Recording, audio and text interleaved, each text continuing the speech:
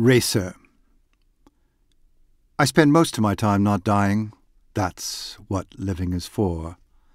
I climb on a motorcycle. I climb on a cloud and rain. I climb on a woman I love. I repeat my themes. Here I am in Bologna again. Here I go again. Here I go again, getting happier and happier. I climb on a log torpedoing toward the falls. Basically, it sticks out of me.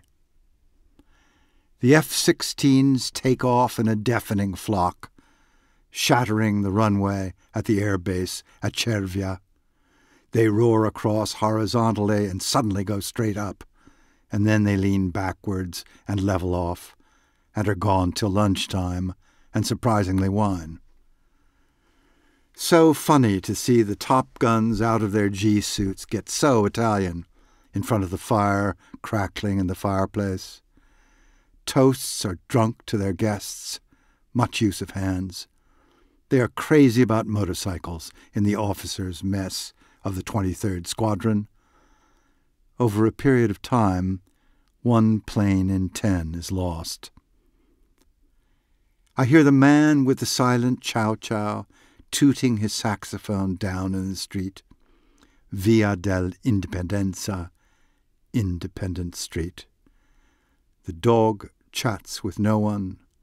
The man chats with everyone with gusto and delight, and accepts contributions. At the factory, the racer being made for me is not ready, but is getting deadly. I am here to see it being born. It is snowing in Milan, the TV says. They close one airport, then both. The Lord is my shepherd and the director of superbike racing. He buzzes me through three layers of security to the innermost secret sanctum of the racing department. I enter the adytum. Trains are delayed.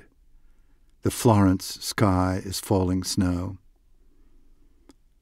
The man with the silent chow chow is tooting in the street below my room at the Hotel Baglioni. The bag and bow, my marble home away from home, room 221. He buzzes me through three layers of security, poetry, politics, medicine, into the adytum. Tonight, Bologna's fog. This afternoon, there it was, with all the mechanics who were making it around it.